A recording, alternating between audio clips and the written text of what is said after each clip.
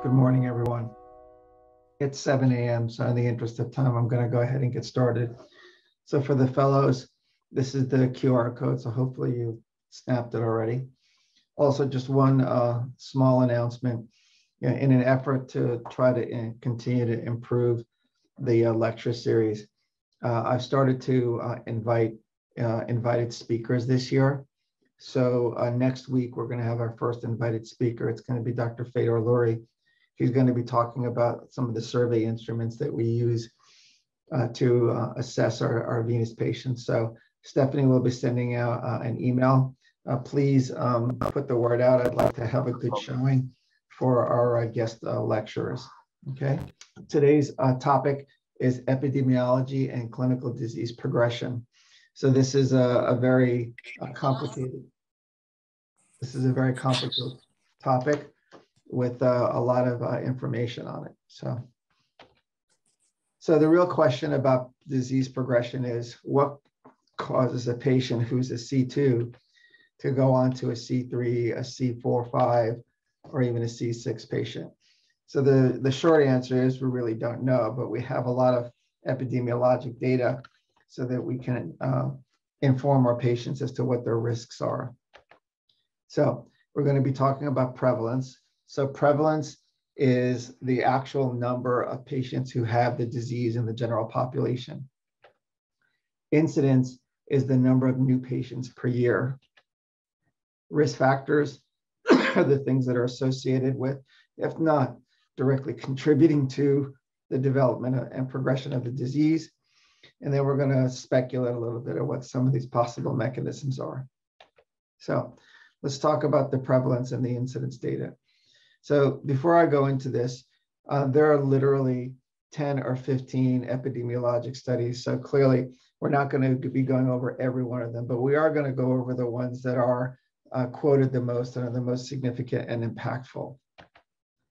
So this one, the Edinburgh vein study that was published in 2000 in the Journal of Vascular Surgery was the first attempt at an epidemiological uh, survey as to what the prevalence is in the general population. And what uh, Andrew Bradbury did here was he took 1,500 random patients from the general population, didn't care what their symptoms were, he just took 1,500 patients. And he asked them if they had any signs or symptoms that would be consistent with venous insufficiency, leg pain, swelling, tired, heavy, achy legs, tightness. And then he, he duplex scanned all of them. And what he found was that uh, 32 or 33% of them had C2 or C3 disease, and about 6% of them had C4, C6 disease. And what he found was that if there was superficial venous insufficiency or reflux, this uh, symptoms uh, correlated uh, uh, closely in women. Whereas if you had symptoms in men, there was a higher likelihood that you would have deep venous insufficiency. Now, when this study was done, it was done prior to the uh, uniformal acceptance of C. So if you look at the original paper, they've split patients out into these, you know, uh, truncal varicosities without venous insufficiency. I don't even know what all that means, but what I was able to figure out by going through the study was that this category here, the trunk veins with no venous insufficiency, are your C2 patients, and this grade one uh, is uh, would be considered a C3 patient today. So in the paper, 28% of the patients had C2 disease, 3.5% had C3 disease, and as we said before, 6% had C4 disease. So this was just uh, in the general population of that 1,500 patients. The next study that's quoted often is this French study. It's a cross-sectional epidemiologic study, also uh, uh, um, has 2,000 patients in it. The downside to this study was that it was mostly telephone interviews. And what they did was they chose a subsample of patients to do the actual physical exam and medical interviews. Now, what they found in, in this study was that the prevalence of the disease increases with each decile of age and it increases more in women than it does with men. In addition, when they looked at skin changes and venous ulceration, same thing. They found that the incidence increases with uh, decile uh, of age. Now, both the Edinburgh study and the French study uh, are slightly biased because they were done only in white people.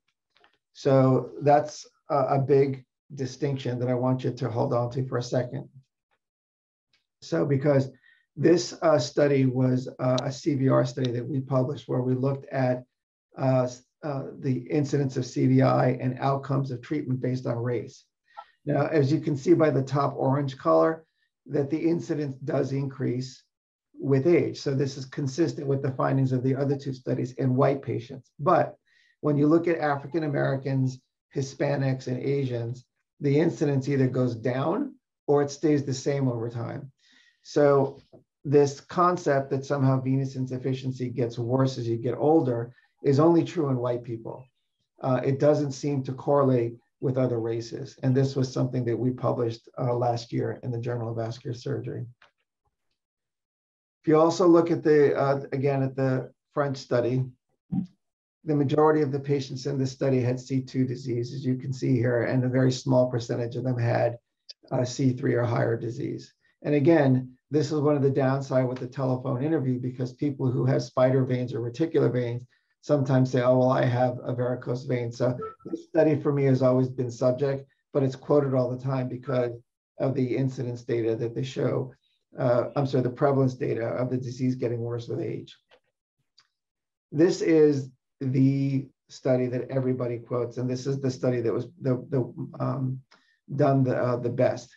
So this was uh, basically Eberhard Rabe's uh, study. It's a population-based cross-sectional study. Again, they looked at a general population of 3,072 patients aged 18 to 79. And what they did was they wanted to see what the prevalence of, of uh, reflux was in this patient population. And what they found was that pathologic reflux was seen in 35% of the entire cohort. 21% of them had superficial and, uh, and 20% of them had deep, but that's if you use the 0.5 criteria. If you look at one second uh, as your cutoff point, that drops to 7.2%.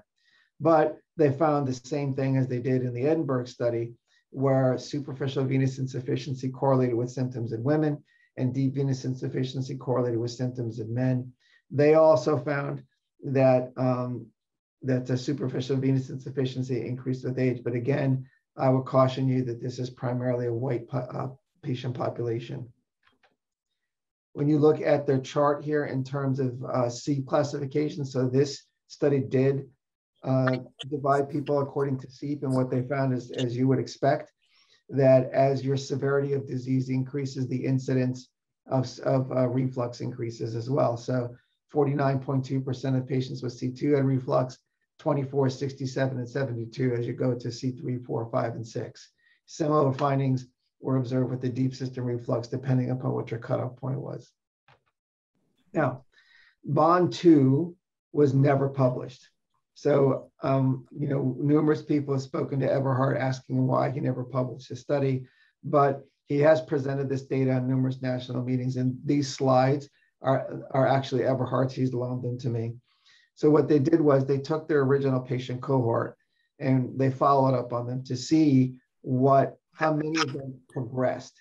And this is really what we as physicians want to know. And this is the chart that uh, gets, gets uh, presented all the time. If you look here on the far left, you look at the patients as to what they where they started in the study. C2 non-saphenous, C2 saphenous, C3, 4, 5, and 6. So if you look at the C2 saphenous, you'll see that that 21.2% uh, of them actually progressed to C3 disease, and 10% of them progressed to.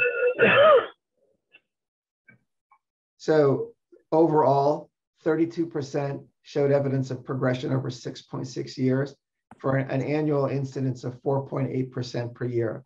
This is the study that we refer to patients all the time when they say, well, what's my chance of this getting worse over time? And this is it. It's five. I tell people that you have a 5% per year chance of, of progressing on to worse disease. Now, this study was the very first study that was done in the United States. The epidemiologic study that's quoted from the United States all the time is the San Diego study. Um, it's it's a big study. It's a good study, and the one thing about the San Diego study is that it actually did give a racial uh, breakdown distribution. So when I update this presentation, I'm going to add it. But this study from Olmsted County in Minnesota is a, a classic study um, because the Cleveland, the, because the um, University of Rochester, the Mayo Clinic, is uh, uh, in Rochester, Minnesota. Uh, Olmsted County has very, very good records. So what they did here in this paper, they asked if you have C4 disease or skin damage, what's the likelihood that you're going to go on and progress to an ulcer? And what they found here was that the overall um, prevalence was 76.1 per 100,000 patients for skin changes and 18 per 100,000 patients for venous ulcers. And what they found in this study was that uh, that uh, venous stasis diagnosis to development of an ulcer was basically five uh, years plus or minus five years. So if you develop skin changes, there's a 20-fold uh, increase in your likelihood of developing an ulcer over the next five years, plus or minus five years. So these are the graphs from the study which show uh, um, age group and by year. So if you look at uh, the far left, which is one, this is the same kind of graph distribution that you saw in the front study, whereas as you get older, the uh, incidence of venous ulceration increases with decile of age. But again, I would caution everybody that Olmsted County is a primarily white county. So this data is probably just reflective of the white patient population. Figure two is looking at it by the year that the data was obtained. And you can see here, there's really maybe a slight increase uh, over time.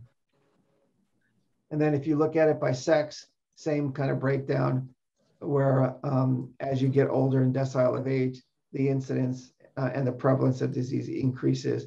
Uh, but whereas if you look at the calendar years by sex, it seems to have decreased in time. And this is probably a reflection of the fact that healthcare has improved over the past 10, 20, 30 years. Now, we've got some uh, additional data that I'd like to show you in terms of disease progression. So recently there's been a lot of interest in the anterior accessory great saphenous vein. So there is a study that was published in 2015 by uh, Thomas Proebstle from Germany, which really didn't get a lot of play, but this is actually a very well done study. It's a single center cohort study. Uh, and what he did was he had a group of patients who had a GSV reflux, who he ablated, and who also had uh, some evidence of anterior accessory great saphenous veins. And what he asked was, well, what is the progression rate where the AAGSV becomes symptomatic? So what he did was he had 93 limbs with GSV reflux and invisible. Dr. Mathai, can you please, thank you. 93 limbs with GSV reflux and a visible AAGSV. So of these 93 limbs, 43 of them had a visible AAGSV, but at the time, only two of those patients, 2% demonstrated reflux. So then he did surveillance scanning at one week then 12 months, 24, 36, and 48 months. And he had an 88% follow up rate at four years, really, really good follow up rate. And what he found was that at four years of the original 93 limbs, 65 limbs now had visible AAGSV disease, and 55% of them demonstrated reflux. So essentially, if you have uh, a visible AAGSV with GSV reflux, uh, and you lead and you and they're not symptomatic, once you treat the GSV, there's a, a very high likelihood that your AAGSV is going to become symptomatic over a four-year time period. So we uh, we recently um, presented some data to the JVS, and, and this paper is now in press. Dr. Deal is the first author on it, where we looked at the outcomes of treating the AAGSV. So in patients who just had an ablation alone and did without any treatment of a um, tributary disease. By the RVCSS, they did just as well as patients who had GSV reflux. But when you looked at their CIVIQ data, the AAGSV patients actually almost returned back to baseline. So there was an initial improvement at, uh, at the one month follow up, but at six months, they started to become uh, symptomatic again. So these were patients who just had ablations alone when you did an ablation with a phlebectomy, the, the AAGSV patients did just as well as the GSV patients. So it seems that AAGSV outcomes are actually uh, tied to the treatment of the tributary disease and not necessarily the proximal stump. We did not address if you just treated the uh, the tributaries, what would happen to that proximal stump and whether or not you would have a recurrence. So we did not look at that, but this data strongly suggests that uh, outcomes in AAGSV patients are, are, highly dependent upon doing the phlebectomies. Uh, and I'm not quite sure how important doing the uh, ablation is. Now, what about risk factors? What are some of the things that have been shown to be associated with progression of disease? So again, going back to the Edinburgh study, this was uh, an abstract that was published uh, many years after the original paper. And essentially what they, they found was that increasing age, BMI, and pregnancy are all associated with, uh, with disease progression. The Bonn Vein 2 study found the exact same thing, uh, except they also found that a sensation of swelling, which they interpreted as tightness or tenseness, was also associated with a higher odds of, of uh, progression. Now, this is another paper that, that uh, we did again. Zoe's the first author on this, looking at patients who have higher BMIs and again, looking at outcomes. And what we found was that as your BMI increases, your uh, outcomes after an ablation or phlebectomy or, or, any treatment for your CVI is not as good as those who have a lower BMI. Uh, and this paper actually suggested that patients who have a BMI of 46 or greater should um, actually be uh, considered to not have an ablation as their outcomes are not very good, or at the very least, they need to be told that they're not going to have as good an outcome as somebody else who's not as heavy. And they, they should actually focus on weight loss reduction rather than having an ablation, phlebectomy, and all the stuff that we've been doing to them. This paper by Cornu-Thenard in 1994 is one, of, is one of the first genetic studies looking at whether or not uh, genetics play a role in disease progression. So in the Edinburgh study, they found no correlation with family history. The French study did find a correlation and the Bonn study did not address this issue.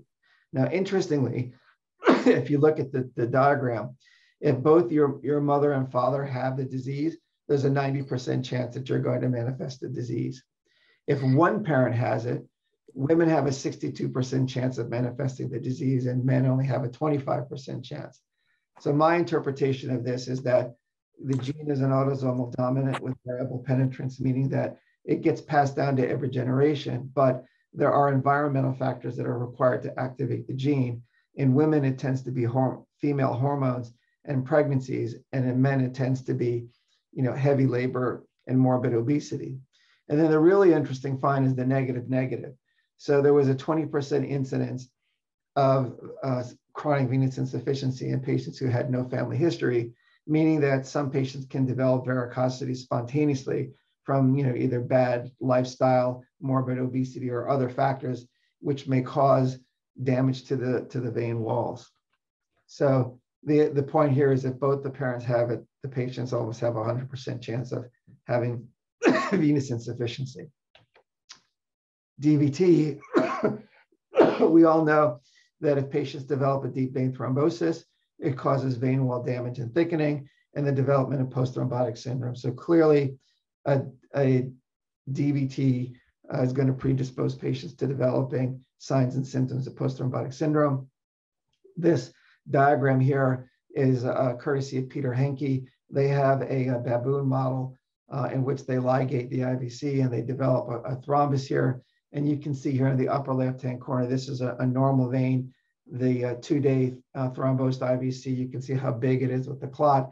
And then over time, what you can see, the arrows are showing the uh, vein wall thickening that happens when um, you get post-thrombotic syndrome. This paper for the fellows, if you don't have this paper, get it. This is a classic paper by uh, Paolo Prandoni in which he did serial venography on every patient who had a DVT uh, over an eight year period. And what he found was that if you had a DVT, your incidence of developing post thrombotic syndrome at two years is 23%, and it goes up to 29% at eight years. Uh, but this is any symptoms associated with post thrombotic syndrome. Severe post thrombotic syndrome is 8% at five years. this paper was the was the basis for some of the uh, thrombolytic therapy trials that we're seeing right now, where the development of PTS is at two years. So I would strongly suggest that you read this paper, and he has two or three follow-up papers that came up after this, uh, because they're kind of classic reading at this point. Now, this paper from Peter Gloviczki in the Mayo Clinic uh, looked at the effect of deep venous insufficiency or outflow obstruction on ulcer healing. And as you can imagine, if you have uh, just reflux alone, uh, the likelihood of your ulcer healing is very high. It's at 95%. But if you have any outflow obstruction at all, the ulcer healing is, is uh, severely delayed. And at a couple of years, only 65% of patients have their ulcer healed. But you can see here the standard deviation with the dotted lines is high at this point. This graph is the one that I uh, tell the fellows about all the time. This is looking at your uh, ulcer recurrence rate. So if you had only uh, uh, venous reflux, at two years, you had a 20% likelihood of having an ulcer recurrence. But if you had outflow obstruction or any evidence of post-thrombotic syndrome, at two years, your ulcer recurrence rate was 46%. So clearly, if you develop a DVT, have any evidence of outflow obstruction or any evidence of post-thrombotic syndrome, your uh, ulcer recurrence rate is very, very high. So this is a serious risk factor for recurrence. So uh, in conclusion, you know, the uh, prevalence of venous insufficiency in, in the Edinburgh study was very high. It was at least 20% in the general population. And, and superficial insufficiency correlated with symptoms in women and deep venous insufficiency correlated with symptoms in men. The French and the uh, study showed that there was an increase in the incidence of venous disease and ulceration with age. But again, I would caution you that this is probably biased because of uh, the high prevalence of white patients in the disease. And uh, there is clear evidence from the Bonn study that there is a, a 5% per year uh, uh, rate of disease progression. So you can tell your patients if they have varicose veins and they ask you, what's the likelihood of this progressing if I do nothing? The answer is 5% per year. And then clearly in terms of risk factors, uh, age, increased uh, weight, BMI, uh, a feeling of tenseness, pregnancy, genetics, deep venous insufficiency, uh, a, a, history of a DVT, and being white uh, are all risk factors for developing venous insufficiency and progressive disease.